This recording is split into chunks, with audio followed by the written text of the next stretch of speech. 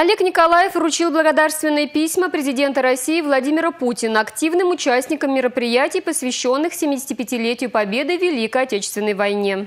Три основных направления, в которых сосредоточили работу по подготовке и проведению 75-летия Победы, патриотическое воспитание молодежи, волонтерское движение и медицинская помощь ветеранам. Символично, что награды удостоились заведующая сектором Музея воинской славы Людмила Жестянкина, председатель регионального штаба движения «Волонтеры Победы» Анастасия Кутузова и врач-гериатр Республиканского клинического госпиталя для ветеранов войн Нина Сидорова.